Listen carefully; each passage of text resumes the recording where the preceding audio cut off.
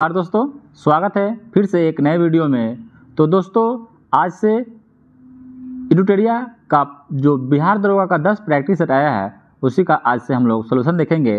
तो दोस्तों, चैनल पर अगर नए हैं तो चैनल को सब्सक्राइब कर लीजिए। अगर इसका पीडीएफ चाहिए तो आप लोग जुड़ जाइए टेलीग्राम चैनल से, जिसका लिंक डिस्क्रिप्शन या कमेंट बॉक्स में मिल जाएगा। तो दोस्तों, चलिए शुरू करते हैं आज के पहले प्रश्न से। पहला प्रश्न आप लोग के सामने है कि सिंधु घाटी सभ्यता के बारे में इनमें से कौन सा कथन सत्य है? तो सिंधु घाटी सभ्यता के लोग कपास के उत्पादन करने वाले पहले व्यक्ति थे। तो ये आपका सही है। सिंधु घाटी सभ्यता ग्रामीण सभ्यता थी यह गलत है? सिंधु घाटी सभ्यता एक शहरी कर, शहरी सभ्यता थी, जबकि वैदिक सभ्यता ग्रामीण सभ्यता थी। सिंधु घाटी के लोग कुत्ते, बिल्ली और घोड़े को बड़े पैमाने पर पालते थे। तो नहीं, सिंधु घाटी के लोग कुत्ता को पालतू बनाया था, जबकि घोड़े और बिल्ली को नहीं बनाया था। यहाँ के लोग केवल चालू, चावल की खेती करना जानते थे, नहीं। यहाँ के लोग चावल, कपास, जौ इत्यादि का खेती करना भी जानते थे। तो इसमें से अपना सही उत्तर आपका ऑप्शन नंबर ए हो जाएगा। अगला प्रश्न है कि जैन धर्म के त्रिरत्न कौन कौन से है? तो जैन धर्म के त्रिरत्न में शामिल आपको बताना है। तो जैन धर्म के त्रिरत्न में आपका सम्यक दर्शन, सम्यक ज्ञान और सम्यक आचरण हो जाएगा। यानी सम्यक विश्वास, सही विश्वास सही ज्ञान और सही आचरण जैन धर्म के त्रिरत्न है। जैन धर्म में चौबीस तीर्थंकर हुए, जिसमें सबसे अंतिम तीर्थंकर महावीर को माना जाता है, जो जैन धर्म के वास्तविक संस्थापक माने जाते हैं। और जैन धर्म के पर पहले जो तीर्थंकर थे, वो आपका ऋषभ देव थे। आपसे कभी कभी पूछ देता है कि सियादवाद सियादवाद एक शब्द दे देगा, किस धर्म से संबंधित है? तो जैन धर्म से है, अनेकांतवाद ठीक है? कैवल्य, पंचव्रत, तीर्थंकर, ये सब किस धर्म से संबंधित है? तो जैन धर्म से संबंधित है। और पंचव्रत या महावीर ने इसको लागू किए थे, जबकि जो चार आश्रम जो सुनते हैं, वो आपका पार्श्वनाथ ने उसको लागू किया था। अगला प्रश्न है कि चोल अभिलेखों के अनुसार जैन संस्थानों को दान में दी जाने वाली भूमि को क्या कहा जाता था? तो चोल अभिलेखों के अनुसार जैन संस्थानों को दान में दी जाने वाली भूमि को पल्ली छादानम कहा जाता था। क्या कहा जाता था? पल्ली छादानम ठीक है? और वेलगन वेलगन बगाई जो था या गैर ब्राह्मणों को अनुदान में दी जाने वाली भूमि को कहते थे। और साला भोग या विद्यालयों को जो दान में दी जाती थी भूमि, उसको साला भोग कहा जाता था। और ब्रह्मदेव जो ब्राह्मणों को दान में दी जाने वाली भूमि को ब्रह्मदेव कहा जाता था। तो सबसे पहले अगर आपसे पूछे कि ब्राह्मणों को भूमि अनुदान में देने की प्रथा किसने शुरुआत की थी तो यह सतवाहन वंशों के शासकों ने इसको शुरू किया था। ठीक है?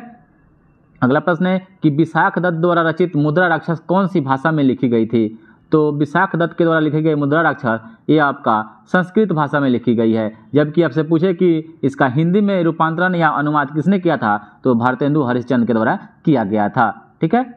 चलिए, अगला प्रश्न है कि निम्नलिखित में से किस शासक के शासनकाल में भारत का पहला रुपया मुद्रित हुआ था? तो यह हो जाएगा शेर शाह सूरी शेर शाह सूरी के शासनकाल में भारत में पहला रुपया मुद्रित हुआ था और शेर शाह सूरी का बचपन का नाम फरीद खां था। फरीद खां, ठीक है? और इनको शेर खां की उपाधि, बहार खा बहार खा लोहानी के द्वारा दिया गया था। और शेर शाह सूरी चौसा का युद्ध और बिलग्राम के दोनों के युद्ध में हुमायूं को हरा दिए थे और Sher Shah Suri grand trunk road का भी निर्माण कराए थे। और पंद्रह सौ इकतालीस ईस्वी में शेर शाह सूरी ने पाटलिपुत्र का नाम बदलकर पटना स्थापित किया था और इसकी मृत्यु कलिंजर मध्य प्रदेश में हो गई पंद्रह सौ पैंतालीस ईस्वी में और उस समय वहाँ का शासक कलिंजर का कीरत सिंह था। कौन था? कीरत सिंह। ये भी बात याद रखिएगा। अगला प्रश्न है कि निम्नलिखित में से किसके शासनकाल में मुगलों और मराठों के बीच द्वंद्व प्रारंभ हुआ था? तो यह हो जाएगा औरंगज़ेब। औरंगज़ेब मुगलों और मराठों के बीच द्वंद्व उत्पन्न हुआ था। और औरंगज़ेब की मृत्यु 1707 ईस्वी में हो जाती है।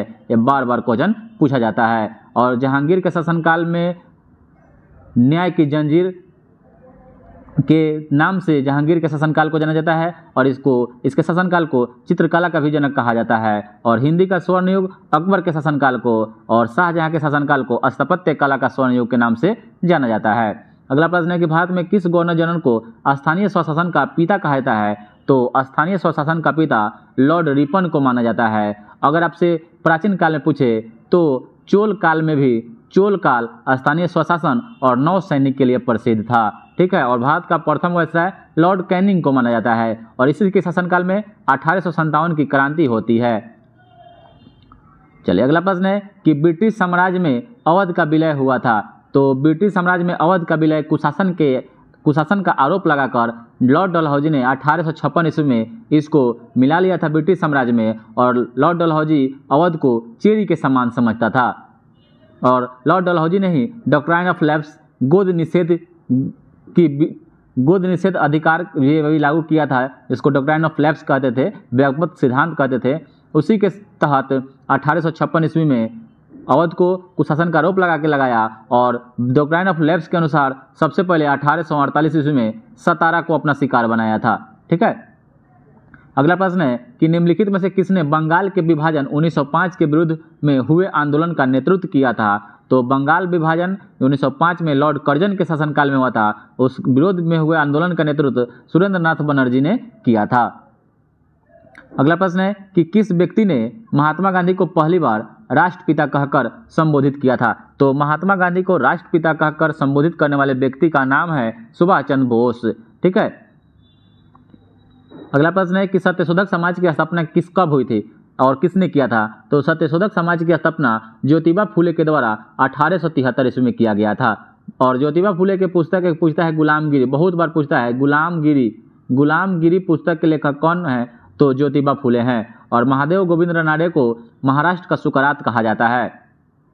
अगला प्रश्न है कि अटाला देवी मस्जिद का निर्माण किस शासक के द्वारा किया गया था? तो अटाला देवी मस्जिद का निर्माण, अटाला देवी मस्जिद का निर्माण इब्राहिम शाह सरकी के द्वारा किया गया था और अटाला देवी मस्जिद यह कहाँ है? जौनपुर में है। और जौनपुर को भारत का भारत का सिराज कहा जाता है, भारत का सिराज। और अटाला देवी मस्जिद का निर्माण चौदह सौ आठ ईस्वी में हुआ था।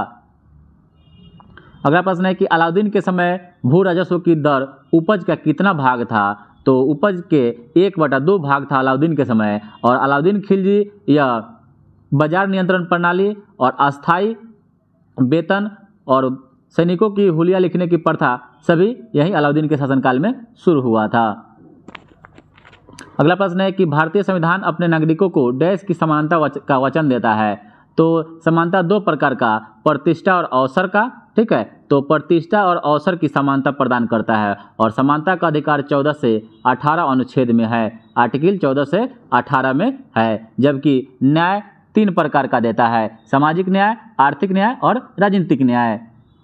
अगला प्रश्न है कि निम्नलिखित में से कौन सी समिति ने मूल कर्तव्यों को संविधान में सम्मिलित करने का सुझाव दिया था तो मूल कर्तव्य मूल संविधान में संख्या इसकी ज़ीरो थी, जबकि बयालीसवां संविधान संशोधन उन्नीस सौ छिहत्तर के तहत मूल कर्तव्य को जोड़ा गया सरदार सवर्ण सिंह समिति के सिफारिश पर, जो आर्टिकल आपका इक्यावन के क में है और भाग चार के क में है, ठीक है? और जो बयालीसवा संविधान संशोधन हुआ उन्नीस सौ छिहत्तर में तो मूल कर्तव्यों की संख्या उस समय दस हुआ करती थी, जबकि वर्तमान में मूल कर्तव्य ग्यारह है, जो छियासीवा संविधान संशोधन 2002 में जो शिक्षा के अधिकार को भी मूल कर्तव्य की श्रेणी में लाया गया। तो अभी वर्तमान में मूल कर्तव्यों की संख्या कितनी है? तो ग्यारह है। आपसे पूछे कि मूल कर्तव्य भारतीय संविधान के, संविधान में जो ग्रहण किया गया है, किस देश से लिया गया है? तो सोवियत संघ रूस के संविधान से इसको ग्रहण किया गया है। अगला प्रश्न है कि अनुसूचित जनजाति के संरक्षण के लिए एक क्षेत्र को अनुसूचित क्षेत्र के रूप में घोषणा करने की शक्ति किसके पास होती है? तो यह राष्ट्रपति के पास होती है। अगला प्रश्न है कि ग्राम सभा निम्न में से कौन शामिल होता है?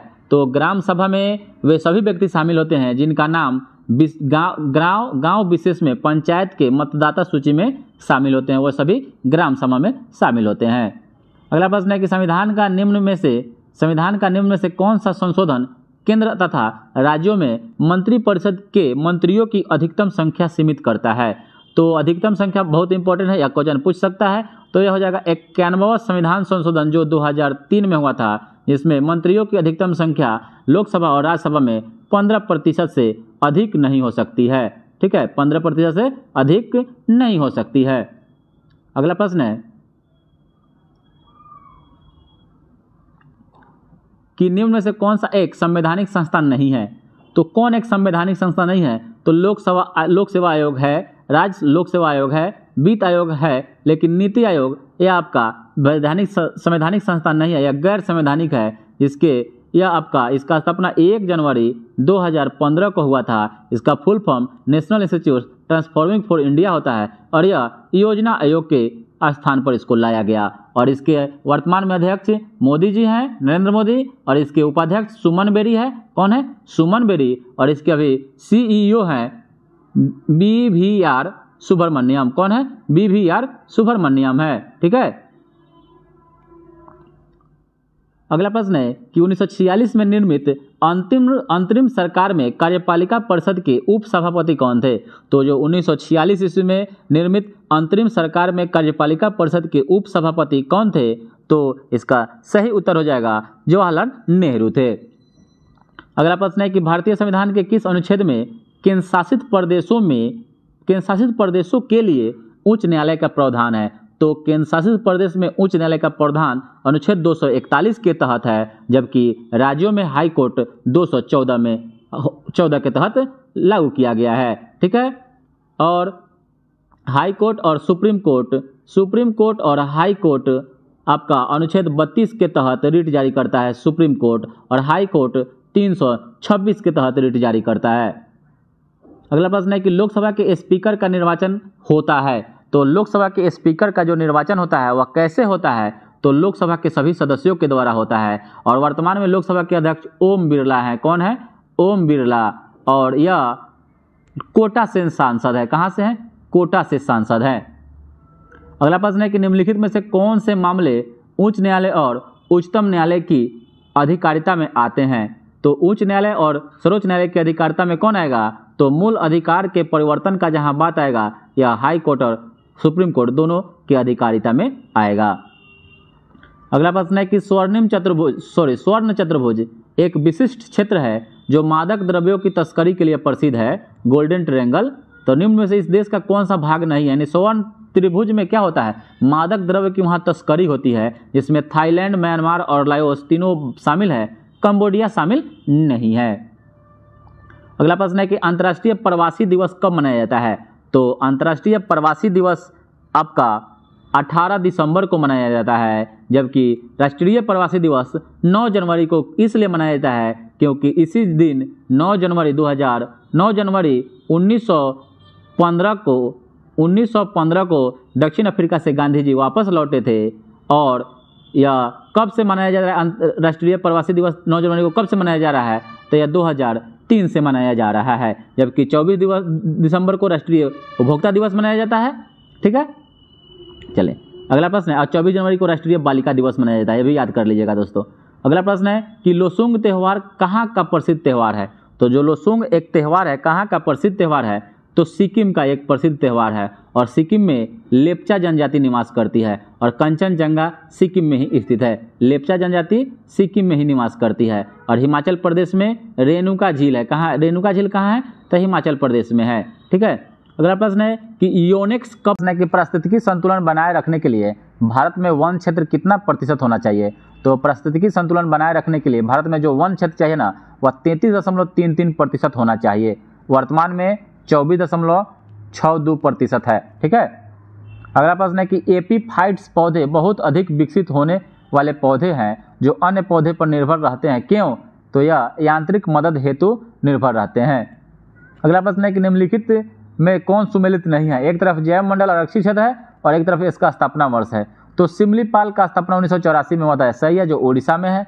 कंचनजंगा का स्थापना 2002 में नहीं होता 2000 ईस्वी में हुआ था। यह आपका सिक्किम में है, नोकरेक यह आपका मेघालय में उन्नीस सौ अट्ठासी में इसका स्थापना हुआ था, सही है? और पन्ना उन्नीस सौ सॉरी पन्ना 2011 में इसका स्थापना हुआ था, सही है? तो आपका सुमेलित नहीं है, ऑप्शन नंबर बी ही सुमेलित नहीं था। और सबसे पहला जैव मंडल आरक्षित क्षेत्र नीलगिरी नीलगिरी था, इसका स्थापना उन्नीस सौ छियासी में हुआ था। अगला प्रश्न है कि क्षेत्रीय भाषा में निर्णय प्रकाशित करने वाला पहला हाईकोर्ट कौन सा है? तो क्षेत्रीय भाषा में निर्णय प्रकाशित करने वाला पहला जो हाईकोर्ट है यह आपका केरल हाईकोर्ट है, जबकि निर्णय प्रकाशित करने वाला लाइव दिखाने वाला जो हाईकोर्ट, अगर पूछे लाइव प्रकाशन करने वाला लाइव टेलीकास्ट करने वाला तो आपका गुजरात हाईकोर्ट हो जाएगा लाइव और पटना हाईकोर्ट की स्थापना तीन फरवरी 1916 को हुआ था, ठीक है? अगला प्रश्न है कि किस राज्य सरकार द्वारा स्वास्थ्य स्वास्थ्य ऐप जारी किया गया है? तो स्वास्थ्य ऐप जो जारी किया गया है ना या तमिल, तमिलनाडु सरकार के द्वारा स्वास्थ्य ऐप जारी किया गया है। अगला प्रश्न है कि हाल ही में संगम नौसेना अभ्यास का आयोजन भारत और किस देश के साथ हुआ है? तो जो संगम नौसेना अभ्यास है, यह अमेरिका देश के साथ होता है। ठीक है? और आज आठ अक्टूबर है और आठ अक्टूबर को वायुसेना दिवस मनाया जाता है। वायुसेना दिवस और नौसेना दिवस चार दिसंबर को मनाया जाता है और थल सेना दिवस पंद्रह जनवरी को मनाया जाता है। अगला प्रश्न है कि अंतर्राष्ट्रीय श्रम संगठन आईएलओ, जिसका स्थापना 1919 में हुआ था, में शामिल होने वाला एक देश कौन सा है? तो आईएलओ में शामिल होने वाला एक देश आपका टोगा है। कौन है? टोगा है। जिसका आईएलओ का मुख्यालय कहाँ है? तो जेनेवा में है। कहाँ है? जेनेवा। अगला प्रश्न है कि विश्व हिंदी सम्मेलन 2023 जिसका आयोजन फिजी में किया गया था, इसमें भारत की तरफ़ से कौन, किसने प्रतिनिधित्व किया था? तो विश्व हिंदी सम्मेलन 2023 जिसका आयोजन फिजी में किया गया था, इसमें भारत की तरफ़ से प्रतिनिधित्व किया था आपका एस जयशंकर ने। और विश्व हिंदी दिवस 10 जनवरी को मनाया जाता है। 10 जनवरी को मनाया जाता है। और राष्ट्रीय हिंदी दिवस 14 सितंबर को मनाया जाता है। पहली बार उन्नीस ईस्वी में मनाया गया था। अगला प्रश्न है कि भारत सरकार ने भूकंप प्रभावित क्षेत्र तुर्की तथा सीरिया की मदद के लिए कौन सा ऑपरेशन चलाया था? तो उसका नाम था ऑपरेशन दोस्त और यूक्रेन में जो छात्र भारतीय फंसे थे, उसका नाम था ऑपरेशन गंगा। अगला प्रश्न है कि ग्लोबल फायर पावर इंडेक्स 2023 में भारत का स्थान मतलब प्रथम स्थान पर कौन है? तो इसमें अमेरिका। अगला प्रश्न है कि वित्त वर्ष 2023-24 के दौरान देश का जीडीपी विकास दर रहने का अनुमान है। तो कितना रहने का अनुमान है जीडीपी? तो यह छः से छः दशमलव आठ प्रतिशत के बीच में रहने का अनुमान है और जीडी का, जीडीपी का full form gross domestic product यानी सकल घरेलू उत्पाद होता है। और अगला प्रश्न है कि दूध उत्पादन में भारत का स्थान विश्व में कौन सा है?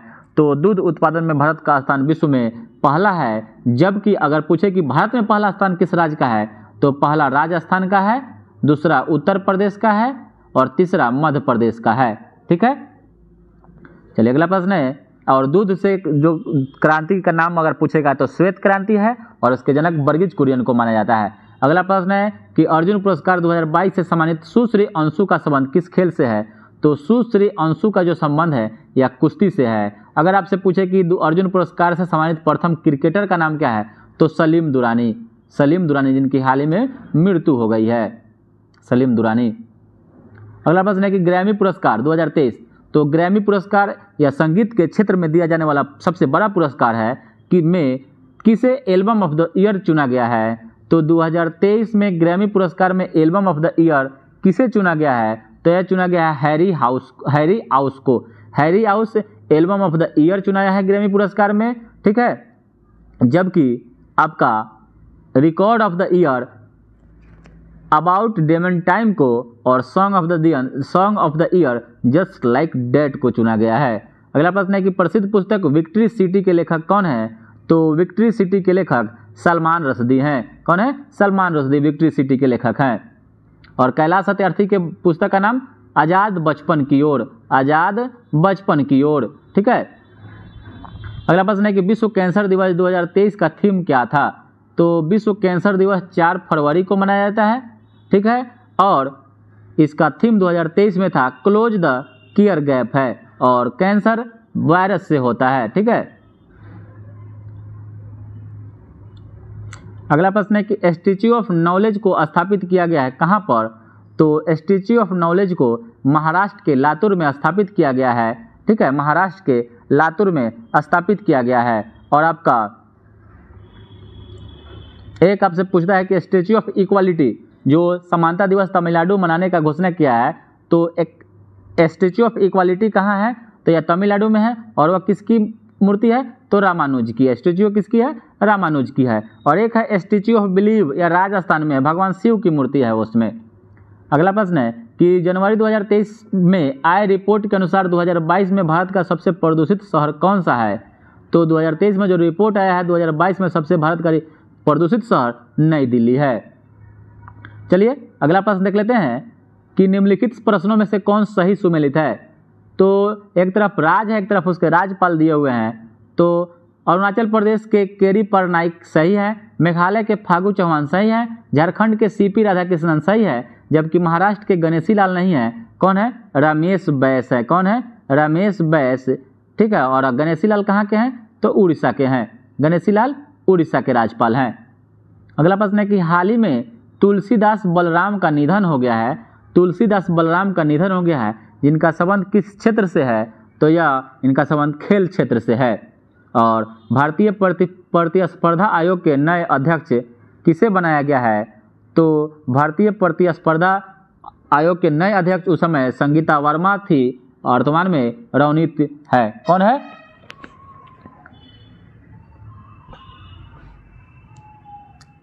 रवनीत कौर है। अभी वर्तमान में कौन है? रवनीत कौर है। अगला प्रश्न है कि अंतर्राष्ट्रीय धर्म धम्म सम्मेलन का उद्घाटन कहाँ किया गया? तो अंतर्राष्ट्रीय धर्म धम्म सम्मेलन का उद्घाटन कहाँ किया गया? तो ये किया गया भोपाल में, मध्य प्रदेश में। और हाल ही में दयानंद सरस्वती की कौन सी जयंती मनाई गई है? तो दयानंद सरस्वती की जयंती मनाई गई हाल ही में दो जयंती। और दयानंद सरस्वती ने ही वेदों की ओर लौटो का नारा दिया था। वेदों की ओर लौटो का नारा दिया था। और इनके पुस्तक का नाम है सत्यार्थ प्रकाश। और इन्होंने अठारह सौ पचहत्तर ईस्वी में आर्य समाज की स्थापना की थी, आर्य समाज की स्थापना की थी। अगला प्रश्न है कि हाल ही में, हाल ही में किसके द्वारा दुनिया का सबसे लंबे प्लेटफॉर्म का उद्घाटन हुबली में किया गया है? तो उस प्लेटफॉर्म की लंबाई डेढ़ किलोमीटर है और यह नरेंद्र मोदी के द्वारा उद्घाटन किया गया है। और नेपाल के नए राष्ट्रपति कौन बने हैं? तो नेपाल के नए राष्ट्रपति रामचंद्र पौडेल बने हैं। ठीक है? और वहाँ के अभी उप प्रधानमंत्री है पुष्प कमल दहल प्रचंड है। अगला प्रश्न है, और हाल ही में नेपाल ने एशियन गेम्स में टी ट्वेंटी में 314 रन बनाने का रिकॉर्ड मारा है, और वहीं पर उसके खिलाड़ी 10 बॉल में बावन रन मारने का रिकॉर्ड तोड़ दिया है। ठीक है? अगला प्रश्न है कि हाल ही में किस राज्य में याओ सांग उत्सव मनाया जाता है? तो याओ सांग उत्सव कहाँ मनाया जाता है? तो यह आपका मणिपुर में मनाया जाता है, जबकि हॉर्नबिल उत्सव नागालैंड में मनाया जाता है, बिहू असम में मनाया जाता है। अगला प्रश्न है कि महाराष्ट्र भूषण पुरस्कार 2022 से किसे सम्मानित किया गया है? तो महाराष्ट्र भूषण पुरस्कार से अप्पा साहेब धर्माधिकारी को सम्मानित किया गया है। अगला प्रश्न है कि वंदे भारत ट्रेन ट्रेन का संचालन करने वाली पहली महिला ड्राइवर कौन बन गई है? तो वंदे भारत ट्रेन का संचालन करने वाली पहली महिला ड्राइवर सुरेखा यादव बन गई है और उस जो ट्रेन चली थी दिल्ली से कहाँ तक? बनारस तक चली थी। और रबी फ़सल की बुआई कब की जाती है? तो रबी फ़सल में गेहूँ आता है। तो गेहूँ, सरसों तो रबी फ़सल की बुआई आपका अक्टूबर और नवंबर तक हो जाती है।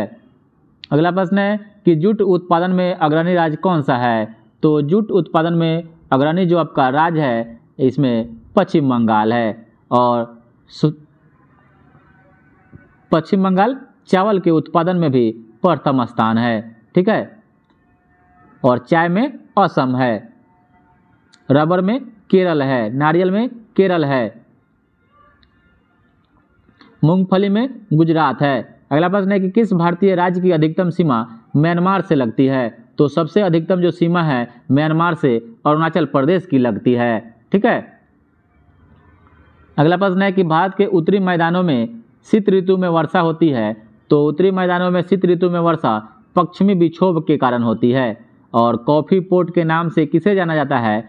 तो कॉफ़ी पोर्ट के नाम से सेंटोस को जाना जाता है, जो ब्राज़ील में है, और ब्राज़ील में कहवा के कहवा के बागान को फैजेंडा के नाम से जाना जाता है, और सबसे ज़्यादा सबसे ज़्यादा कॉफ़ी ब्राज़ील में ही होता है।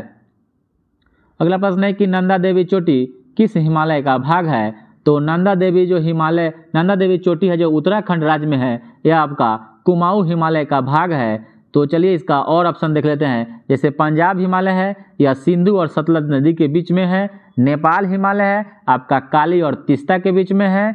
असम हिमालय तो यह तिस्ता और दिहांग के बीच में है। और कुमाऊँ हिमालय है, या सतलज और काली के बीच में है। तो नंदा देवी पर्वत इसी के बीच में स्थित है।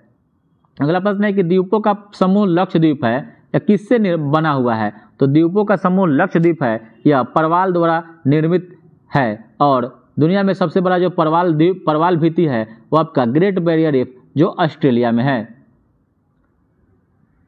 अगला प्रश्न है कि दूध गंगा निम्नलिखित में से किसकी सहायक नदी है? तो दूध गंगा या झेलम की सहायक नदी है, और झेलम शेषनाग झील से निकलती है। ठीक है?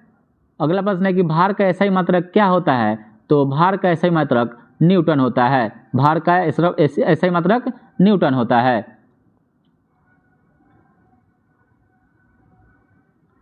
अगला प्रश्न है कि निम्नलिखित में से कौन सा यंत्र समुद्र के स्तर से ऊपर की वस्तुओं को देखने के लिए पनडुब्बी में प्रयोग किया जाता है? तो पनडुब्बी में प्रयोग पेरिस्कोप का करते हैं और एनिमोमीटर से हवा का गति या वेग मापा जाता है। पायरोमीटर से दूर की वस्तुओं का ताप मापा जाता है और ओडोमीटर से चलती हुई गाड़ी या पहियों की पहियों की स्पीड मापी जाती है।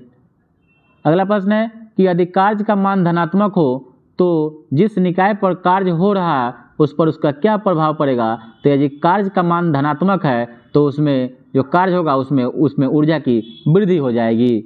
अगला प्रश्न है कि यदि दो कणों के बीच की दूरी बढ़ जाती है तो तो इनके बीच गुरुत्वाकर्षण बल पर क्या प्रभाव पड़ता है? तो आप जानते हैं कि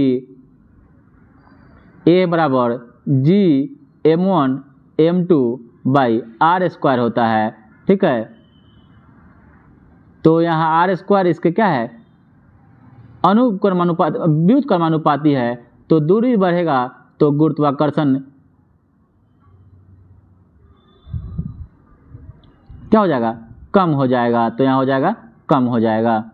अगला प्रश्न है कि उत्क्षेप बल और भार कार्य कैसे करते हैं? तो उत्क्षेप बल नीचा से ऊपर की तरफ़ लाएगा या भार ऊपर से नीचे की तरफ़। तो दोनों कार्य विपरीत दिशा में करते हैं। अगला प्रश्न है, निम्नलिखित में से क्या तरंग की विशेषता नहीं है? तो तरंग के लिए माध्यम की आवश्यकता नहीं होती है तो यहीं इसका विशेषता नहीं है। अगला प्रश्न है कि निम्नलिखित में से कौन सा विकल्प रासायनिक परिवर्तन है? तो रासायनिक परिवर्तन जिसमें से कोई वस्तु फिर उसी अवस्था में नहीं आ सकता है। तो दूध का दही में परिवर्तन होना यह एक आपका रासायनिक परिवर्तन है, जिसमें लैक्टोबैसिलस नामक जीवाणु कार्य करता है। अगला प्रश्न है कि निम्नलिखित में से किसने परमाणु की अविभाज्यता के बारे में बताया था? तो परमाणु अविभाज्य है, या सबसे पहले जॉन डाल्टन ने बताया था। बाद में इनका जो कथन था, वह गलत साबित हो गया। अगला प्रश्न है कि निम्नलिखित में से कौन सा सामान्य ताप, तापमान पर द्रव अवस्था में रहता है? तो यह आपका गैलियम रहता है। अगला प्रश्न है कि निम्नलिखित में से कौन किसी धातु का इलेक्ट्रॉनिक विन्यास नहीं है? तो एक, दो और तीन किसी इलेक्ट्रॉनिक संख्या के लास्ट में रहेगा तो वो आपका धातु होगा। तो ठीक है तो ये आपका पाँच छः सात या धातु होता है तो आपका बी हो जाएगा। ये आपका अधातु है। इसका उपयोग ज़्यादातर खाद बनाने में किया जाता है। अगला प्रश्न है कि निम्नलिखित में से किसे एक तत्व के भार की तुलना में एक मूल विशेषता माना जाता है? तो किसी तत्व किसी, किसे एक तत्व के भार की तुलना में मूल विशेषता माना जाता है तो आपका परमाणु क्रमांक हो जाएगा। अगला प्रश्न है कि ऑक्सीकरण प्रतिक्रिया में निम्नलिखित में से क्या होता है? तो ऑक्सीकरण प्रतिक्रिया में क्या होता है? तो ऑक्सीकरण प्रतिक्रिया में इलेक्ट्रॉन की कमी हो जाती है। क्या हो जाती है? इलेक्ट्रॉन की क्षति यानी हानि हो जाती है और अवकरण में इलेक्ट्रॉन की वृद्धि हो जाती है अवकरण में। अगला प्रश्न है कि यदि किसी लवण का पीएच मान शून्य हो तो वह लवण कैसा होता है? तो लवण का पीएच मान अगर शून्य है तो बहुत ही शक्तिशाली अम्ल होगा और बहुत ही कमज़ोर क्षार होगा। अगला प्रश्न है कि जलीय विलयन में किसी अम्ल या क्षार में क्या परिवर्तन होता है? तो अम्ल या क्षार में तो क्या होता है? किसी जलीय विलयन में किसी अम्ल या क्षार में क्षार जल में O H ion O H minus ion निर्मित करते हैं तो यही आपका ऑप्शन सही हो जाएगा। और जो अम्ल होते हैं एच प्लस आयन करते हैं तो इसमें बाद बाकी सभी ऑप्शन गलत है। ऑप्शन नंबर ए जो है, सही है। अगला प्रश्न है कि उस निष्क्रिय गैस का क्या नाम है, जिसे आधुनिक आवर्त सारणी में पहले आवर्त में रखा गया है? तो निष्क्रिय गैस में आपका सही उत्तर हो जाएगा हीलियम। और अधातुओं का व्यापक उपयोग निम्न में से किसमें होता है? तो अधातुओं का व्यापक उपयोग खाद बनाने के लिए होता है। खाद बनाने के लिए होता है। अगला प्रश्न है कि कास्टिक सोडा का रासायनिक नाम क्या होता है? तो क्या है? तो कास्टिक सोडा का रासायनिक नाम सोडियम हाइड्रो हाइड्रोक्साइड होता है, यानी एन ए ओ एच होता है, ठीक है? और सोडियम कार्बोनेट इसको धोवन सोडा के नाम से जानते हैं N A two C O three N A two C O three होता है, और सोडियम क्लोराइड नमक एन ए सी एल होता है। अगला प्रश्न है कि हीमेटोलॉजी में किसका अध्ययन किया जाता है? तो हिमेलेट हीमेटोलॉजी में हीमोग्लोबिन का अध्ययन, यानी रक्त का अध्ययन किया जाता है। अगला प्रश्न है कि पानी की कमी के कारण कोशिका के संकुचित संकुचित भीति से अलग होने की प्रक्रिया को क्या कहते हैं? तो पानी की कमी के कारण कोशिका से संकुचित भीति के अलग होने की प्रक्रिया को प्लाज्मोलिस कहा जाता है। क्या कहता है? प्लाज्मोलिसिस कहा जाता है। प्लाज्मोलिसिस कहा जाता है। और हमारे शरीर में वसा संचायक उतक का नाम बताना है तो हमारे शरीर में वसा संचायक उतक आपका एडिपोज उतक होता है। कौन होता है? एडिपोज ऊतक होता है ना, वसा संचायक ऊतक होता है।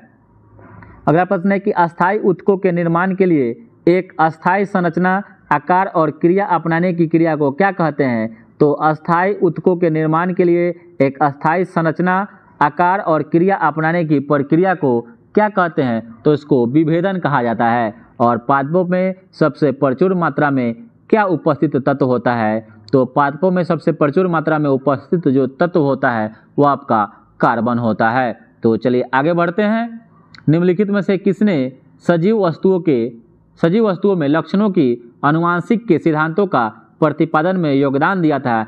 तो अनुवांशिकता का पिता ग्रेगर जोहान मेंडल को कहा जाता है। इसलिए ऑप्शन नंबर सी हो जाएगा सही। अगला प्रश्न है कि जोंक निम्नलिखित में से किस संघ से संबंधित है? तो जोंक जो है ना, जोंक और केचुआ यह एनिलिडा ग्रुप में आते हैं, जबकि मुलस्का में घोंगा सीपी इत्यादि आते हैं। अगला प्रश्न है कि निम्नलिखित में से किसमें होमोडोंट दांत पाए जाते हैं? तो होमोडोंट दांत जो पाए जाते हैं ना यह आपका मछली में पाया जाता है।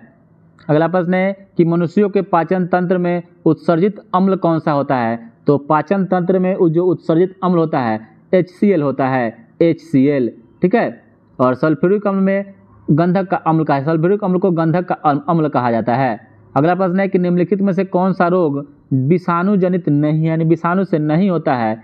तो तपेदिक जो है ना, तपेदिक, ये आपका जीवाणु से होता है, जबकि चेचक, इन्फ्लुएंजा और खसरा, ये आपका वायरस से होता है। अगला प्रश्न है कि उन्नीस सौ उनचास में भारत सरकार द्वारा नियुक्त राष्ट्रीय आय समिति का अध्यक्ष निम्नलिखित में से किसे बनाया गया था? तो यह पीसी महानलोबी राष्ट्रीय उन्नीस सौ उनचास में भारत सरकार द्वारा नियुक्त राष्ट्रीय आय समिति का अध्यक्ष पी पीसी महानलोबिस थे और इन्हीं के जन्म पर 29 जुलाई को 29 जुलाई को राष्ट्रीय सांख्यिकी दिवस मनाया जाता है और द्वितीय पंचवर्षीय योजना जो उन्नीस सौ छप्पन से इकसठ था या पीसी महानलोबिस के ही सिद्धांत पर आधारित था और प्रथम हेराल्ड डोमर मॉडल पर आधारित था।